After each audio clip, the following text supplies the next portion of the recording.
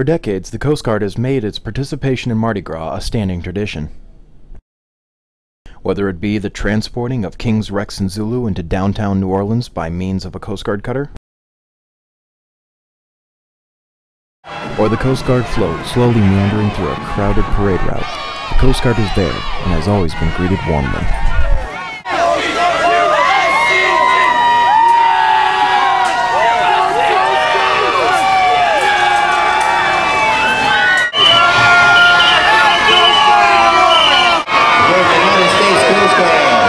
The Coast Guard's Marine Safety and Security Team, an 87 foot cutter, and small boats from Station New Orleans provide a vigilant, additional layer of security to the people of New Orleans during this festive season.